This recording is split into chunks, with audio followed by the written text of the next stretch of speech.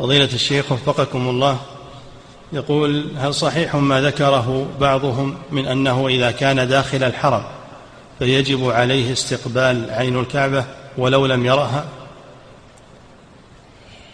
لا اللي داخل الحرم بيرى الكعبة.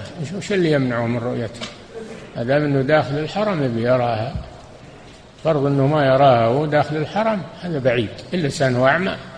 نعم.